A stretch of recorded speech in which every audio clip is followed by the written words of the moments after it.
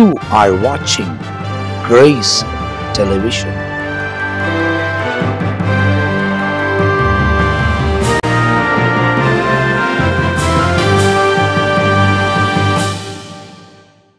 ஆண்டவராக இயேசு கிறிஸ்துவின் இனிதான நாமத்தினாலே கிரேஸ் தொலைக்காட்சி நிகழ்ச்சியை பார்த்து கொண்டிருக்க உங்கள் யாவருக்கும் என்னுடைய வாழ்த்துதலை தெரிவிக்கிறேன் கர்த்தத்தாமே உங்களையும் உங்கள் குடும்பத்தையும் உங்கள் கைகளின் பிரயாசத்தையும் ஆசுவத்து அற்புதமாய் நடத்துவாராக. பரிசுத்த மத்திய சுவிசேஷம் எட்டாவது அதிகாரத்திலிருந்து சில சம்பவங்களை இந்த நாளிலே வாசித்து தியானிக்க போகிறோம். பரிசுத்த மத்திய சுவிசேஷம் எட்டாவது அதிகாரத்தில் ஒரு சில வசனங்கள். அதில் இருபத்தி ஆறாவது வசனத்தை நான் உங்களுக்காக வாசிக்க போகிறேன். அதற்கு அவர் அற்ப விசுவாசிகளே ஏன் பயப்படுகிறீர்கள்? என்று சொல்லி எழுந்து காற்றையும் கடலையும் அதட்டினார். உடனே மிகுந்த அமைதல் உண்டாயிற்று. இந்த நாளில் மிகுந்த அமைதலை குறித்து நாம் வேதத்திலே வாசிக்கிறோம். இயேசு எழுந்து காற்றையும் கடலையும் அதட்டினார். உடனே மிகுந்த அமைதல் உண்டாயிற்று.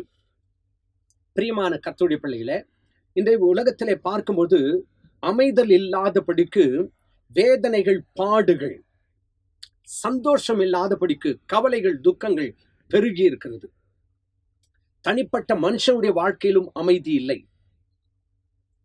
தேசத்திலே அமைதல் இல்லை. உலகத்திலே அமைதல் இல்லை. தேசத்தின் தலைவர்கள் மத்தியிலே அமைதல் இல்லை. ஒரு நாட்டிற்கும் இன்னொரு நாட்டிற்கும் அமைதல் இல்லை. அமைதல் இல்லாமல் காணப்படுகிறது. அப்படிப்பட்ட ஒரு சூழ்நிலையில் இங்கே வசனத்திலே வாசிக்கின்றோம். இயேசு காற்றையும் கடலையும் அதட்டினார். உடனே மிகுந்த அமைதல் உண்டாயிற்றாம் இன்றைக்கு நமக்கு ஒரு மிகுந்த அமைதல் தேவைப்படுகிறது. தேசத்திலே ஒரு அமைதலான ஒரு வாழ்க்கை தேவைப்படுகிறது. இன்றைக்கு உலகத்தில் எங்கு பார்த்தாலும் அமைதல் இல்லாத வாழ்க்கை தான் அதிகமாய் இருக்கிறது. யோபு இப்படியாய் சொல்லுகிறார். எனக்கு சுகமும் இல்லை இழைப்பாறுதலும் இல்லை அமைதலும் இல்லை. தத்தளிப்பு நேரிட்டது என்று சொல்லி யோபு மூன்றாவது அதிகாரம் இருபத்தி ஆறாவது வசனத்திலே வாசிக்கின்றோம். அவர் சொல்லும்போது எனக்கு சுகமும் இல்லை இழைப்பாறுதலும் இல்லை அமைதலும் இல்லை தத்தளிப்பு நேரிட்டது என்று சொல்லுகிறார். இந்த நாளில் கூட இதே சூழ்நிலை தான் நமக்கு காணப்படுகிறது. சுகம் இல்லை. எங்கு பார்த்தாலும் வியாதி வியாதி வியாதி. வியாதி அதிகரித்து கொண்டிருக்கிறது. இந்த வியாதி நிமித்தமாய் இழைப்பாறுதல் இல்லை நிம்மதி இல்லை. நிம்மதியா வெளியே போக முடியல. நிம்மதியா வேலைக்கு போக முடியல. நிம்மதியா தூங்க முடியல. இழைப்பாறுதல் இல்லை. மூன்றாவதாக பார்க்கும்போது அமைதல் இல்லை. அமைதல் இல்லாத ஒவ்வொரு குடும்பத்திலும் ஏதாவது ஒரு பிரச்சனை போராட்டம்.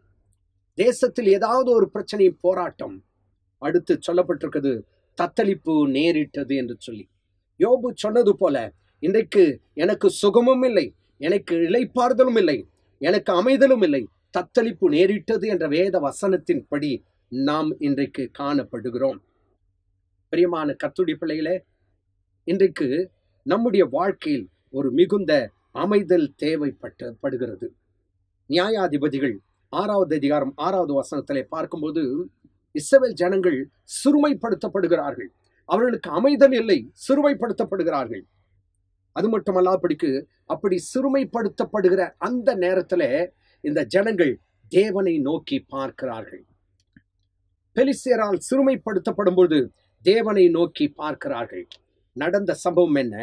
நாம் நியாயாதிபதிகளின் புத்தகம் எட்டாவது அதிகாரம் இருபத்தி எட்டாவது வசனத்தை பார்க்கும்போது அந்த பிரகாரமாய் மீதியானியர் திரும்ப தலையெடுக்க கூடாதபடிக்கு தலையெடுக்க கூடாதபடிக்கு இஸ்ரவேல் புத்திரருக்கு முன்பாக தாழ்த்தப்பட்டார்கள். தேசம் கிதியோனின் நாட்களில் நாற்பது வருடம் அமைதலாய் இருந்தது. அப்போ அதற்கு முன்பாக அமைதல் இல்லாமல் இருந்தது. ஆனால் கிதியோனின் நாட்களில் நியாயாதிபதி கிதியோன் எழும்பும் பொழுது கிதியோனின் மூலமாய் தேவன் தேசத்திலே ஒரு அமைதலை கட்டளையிட்டார் என்று வசனத்திலே வாசிக்கிறோம். தேசமானது கிதியோனின் நாட்களில் நாற்பது வருடம் அமைதலாய் இருந்தது.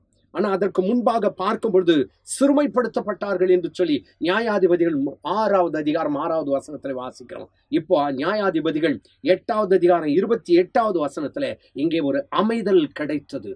ஆம் பிரியமான கத்துடி பிள்ளையே உன் குடும்பத்தில் ஒரு அமைதல் வேண்டுமா? என் ஆண்டவராக இயேசு கிறிஸ்து அங்கே காற்றையும் கடலையும் அதட்டும் போது ஒரு அமைதல் உண்டானது போல. என் ஆண்டவராக இயேசு உன் குடும்பமாகிய படகுக்குள்ளே உன் வீடாகிய படகுக்குள்ளே அவர் இருப்பார் என்று சொன்னால் நிச்சயமாய் தேவன் ஒரு அமைதலை கட்டிடுவார் வசனம் சொல்கிறது உடனே மிகுந்த அமைதல் உண்டாயிற்று. உன் குடும்பத்தில் மிகுந்த அமைதல் வேண்டுமா? உன் தனிப்பட்ட வாழ்க்கையில் ஒரு மிகுந்த அமைதல் வேண்டுமா? இயேசு உன் படகில் இருக்காரா பாருங்க. படகில் இருந்த இயேசு எழுந்து மிகுந்த அமைதலை உண்டாக்கினவர். உன் படகு ஆகிய இருதயத்திற்குள்ளே உன் படகாகிய வீட்டிற்குள்ளே உன் படகாகிய குடும்பத்திற்குள்ளே இயேசு இருப்பார் என்று சொன்னால் அவர் ஒரு மிகுந்த அமைதலை உனக்கு கொடுக்க உண்மையுள்ளவராயிருக்கிறார். பிரியமான கர்த்துடி பிள்ளைகளே அது மட்டும் பிடிக்கும் நூற்றி ஏழாவது சங்கீதத்தை நாம் திருப்பிக் கொள்வோம் என்று சொன்னால் நூற்று ஏழாவது சங்கீதத்திலே ஒரு பகுதியை நான் உங்களுக்காக வாசிக்க போகிறேன். நூற்று ஏழாவது சங்கீதம் இருபத்தி ஒன்பதாவது வசனம். கொந்தளிப்பை அமர்த்துகிறார் அதன் அலைகள் அடங்குகிறது என்று வசனத்திலே வாசிக்கின்றோம். நூற்றி ஏழாவது சங்கீதம் இருபத்தி ஒன்பது முப்பதாவது வசனத்தை வாசிக்கும்போது கொந்தளிப்பை அமர்த்துகிறார். உன் குடும்பத்துல கொந்தளிப்பு இருக்கா? அங்கே கடல் கொந்தளித்துக் கொண்டிருந்தது.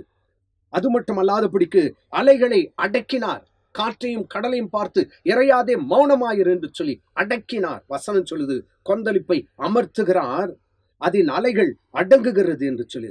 அமைதல் உண்டானது நிமித்தம் அவர்கள் சந்தோஷப்படுகிறார்கள் என்று வசனத்திலே வாசிக்கிறோம். இன்றைக்கு உன் குடும்பத்திலே ஒரு மிகுந்த அமைதல் உண்டாகும் என்று சொன்னால் உலகத்தால் கொடுக்க முடியாதும் உலகத்தால் எடுக்க முடியாதுமான ஒரு பெரிய சந்தோஷத்தை கர்த்த நமக்கு கொடுக்க உண்மையுள்ளவராயிருக்கிறார். கூப்பிடு. இயேசுவை நோக்கி கூப்பிடு. இயேசுவே நாங்கள் மடிந்து போகிறோமே என்று அவர்கள் கூப்பிட்டார்கள். இயேசு உடனே எழுந்தார் அமைதலை உண்டாக்கினார்.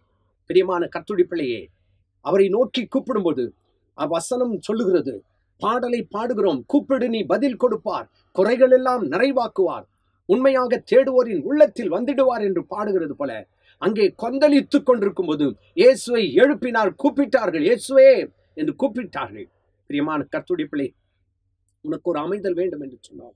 இந்த வசனத்தின்படி கொந்தளிப்பு உன் வீட்டில் காணப்படுகிற கொந்தளிப்பு அமர்த்தப்பட வேண்டும் என்று சொன்னால் அவரை நோக்கி கூப்பிட வேண்டும். அப்போது கொந்தளிப்பை அமர்த்துகிறவராயிருக்கிறார். அதன் பிறகு முப்பதாவது வசனத்துல வாசிக்கிறோம் அமைதல் உண்டாயிற்று. பிரியமான கர்த்துடி பிள்ளையே உனக்கு ஒரு அமைதலை கொடுக்கணும்னு தான் ஆண்டவர் விரும்புகிறாரு உன் வாழ்க்கையில் ஒரு அமைதல் உன் குடும்பத்தில் ஒரு அமைதல்.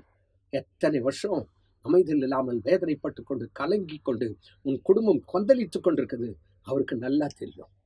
அந்த கொந்தளிப்புக்கு நத்திலே மத்தியிலே ஆண்டவர் அமைதியாக தான் இருந்தார். ஆனால் அவங்க இயேசுவை நோக்கி கூப்பிட்ட உடனே அமைதலை உண்டாக்கின தேவன் உனக்கு ஒரு அமைதலை உன் குடும்பத்தில் ஒரு அமைதலை உண்டாக்க அவர் உண்மையுள்ளவராய் இருக்கிறார் பிரியமான தேவடி பிள்ளைகளே. அது மட்டுமல்லாதபடிக்கு அவருக்கு செவி கொடுக்கும் பொழுது ஒரு அமைதல் உண்டாகும். விக்கினும் நீங்கும் என்று வேதம் தெளிவாய் சொல்லுகிறது பிரியமான தேவடைய பிள்ளைகளை. நீதிமொழிகளின் புத்தகத்தை எடுத்துக்கொண்டு முதலாவது அதிகாரம் முப்பத்தி மூன்றாவது வசனத்தை நீங்கள் வாசித்து பார்க்கும்போது எனக்கு செவி கொடுக்கிறவன் எவனோ அவன் விக்கினமின்றி வாசம் பண்ணி ஆபத்திற்கு பயப்படாமல் அமைதியாய் இருப்பான். எனக்கு செவி கொடுக்கிறவன். அப்ப அமைதியில் எப்போ வரும்? ஆண்டவருக்கு செவி கொடுக்கும்போது அமைதல் வரும். ஆண்டவருக்கு செவி கொடுக்காமல் போனால் கொந்தளிப்பு உண்டாகும். அந்த வசனங்களை வாசித்து பார்க்கும்போது அக்கறை போவோம் வாருங்கள் என்று அழைத்தவர் தான். அவங்க படகிலே தான் இருக்காங்க. அங்க கொந்தளிப்பு வந்தது. அவரை கூப்பிட்டாங்க. எழுந்தார். அமைதல் உண்டாக்கினார். வசனம் இங்க சொல்லுது எனக்கு செவி கொடுக்கிறவன் எவனோ அவன் விக்கினமின்றி வாசம் பண்ணுவான். ஆபத்திற்கு பயப்படாமல் அமைதியாய் இருப்பான். இன்றைக்கு வந்திருக்கு பெரிய பெரிய ஆபத்து. உலகத்திலே பயங்கரமான ஆபத்து இனியும் வரப்போகுது என்று சொல்லு சொல்லப்படுகிறது. ஆனால் ஆபத்திற்கு அவன் பயப்படவே மாட்டான். ஒரு பாடல் இப்படியாய் சொல்கிறது. விசுவாசி அவன் என்றும் பதறான். அவன் நங்கூரம் இயேசுவில் உண்டு. ஆபத்தை கண்டென்றும் அஞ்சான் அசையாத விசுவாசம் கொள்வான். இசையோடு இயேசுவை புகழ்வான். பிரியமான கத்துடைய பிள்ளையே ஆபத்திற்கு பயப்படாமல் அவன் அமைதலாய் இருப்பான். யார்? எனக்கு செவி கொடுக்கிறவன். பிரியமான கத்துடிப்பிலேயே நீ தேவனுக்கு செவி கொடுப்பாய் என்றால் உன் வாழ்க்கையில ஒரு அமைதல் உண்டாகும். வசனத்திலே வாசிக்கின்றோம் இயேசு எழுந்து நின்று காற்றையும் கடலையும் அதட்டினார். உடனே அமைதல் உண்டாயிற்று. அந்த அமைதலை கர்த்தர் உனக்கு கொடுக்க உன் உன்னுடைய குடும்பத்திற்கு கொடுக்க நம்முடைய தேசத்திற்கு கொடுக்க உண்மையுள்ளவராயிருக்கிறார். நாம் செய்ய வேண்டியது என்ன?